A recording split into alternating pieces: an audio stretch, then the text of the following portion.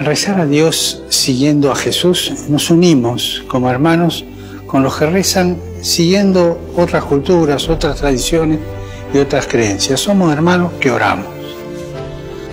La fraternidad nos lleva a abrirnos al Padre de todos y a ver en el otro un hermano, una hermana, para compartir la vida, para sostenerse mutuamente, para amar, para conocer.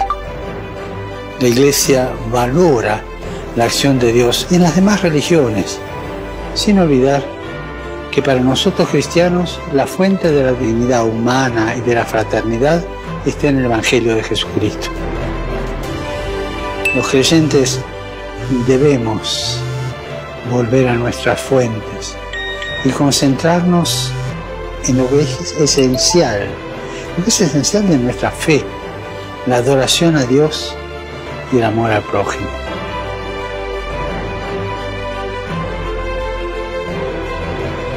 Recemos para que el Señor nos dé la gracia de vivir en plena fraternidad con los hermanos y hermanas de otras religiones y no andar peleando. Y rezando unos por otros, abriéndonos a todos.